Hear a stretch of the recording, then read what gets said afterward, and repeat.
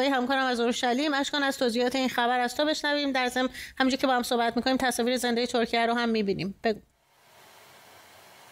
درسته آزاده.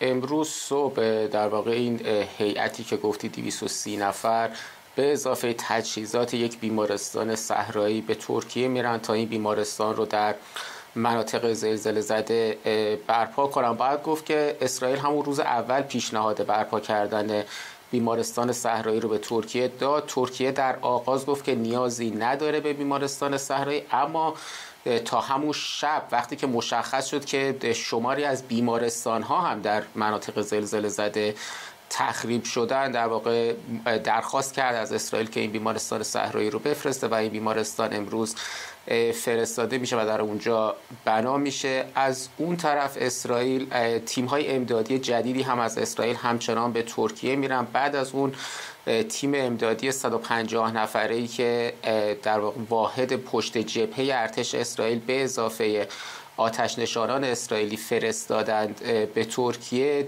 دیشب در واقع تیم های دیگری هم دیروز و دیشب به اونجا رفتن. از سازمان های امدادی که عمدتا به صورت داوطلبانه کار می‌کنند مثل سازمان اتحادیه حدسالا در اسرائیل که یک تیمی رو به اونجا فرستاد و همچنین گروه امدادی اسرائیل که گروهی رو به اونجا فرستاده. باید گفت که حالا یک اتفاق جالبی هم که این وسط افتاد این بود که در فرودگاه هواپیمای اسرائیلی که این گروه امدادی اسرائیلی رو به اونجا برده بود در کنار هواپیمای ارتش جمهوری اسلامی بود که در واقع گروه امدادی ایرانی رو به اونجا برده بود. اما علاوه بر ترکیه کمک های به سوریه هم همچنان مطرح هست کانال 11 تلویزیون اسرائیل دیشب گفت که کمک های کالایی اسرائیل به زلزله زدگان در سوریه به احتمال بسیار بالا از طریق روسیه برای این کشور فرستاده خواهند شد هرچند که همچنان دولت سوریه میگه هیچ درخواست کمکی از اسرائیل